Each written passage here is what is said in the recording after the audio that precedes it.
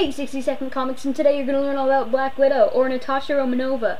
Natasha Romanova is a German-born, Russian-raised child. She was raised as an assassin in the Red Room since childhood.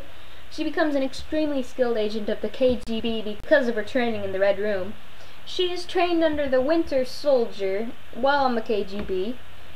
Later, Natasha and another agent, known as Boris Turgenev, are sent to kill Anton Vanko who had defected from Russia, joining Stark Industries. Iron Man, also known as Tony Stark, who is the owner of Stark Industries, foils her assassination attempts multiple times.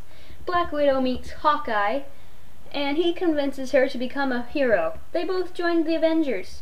She goes solo for a while and becomes romantically involved with Daredevil for a time. That's all 60 Second Comics. Bye.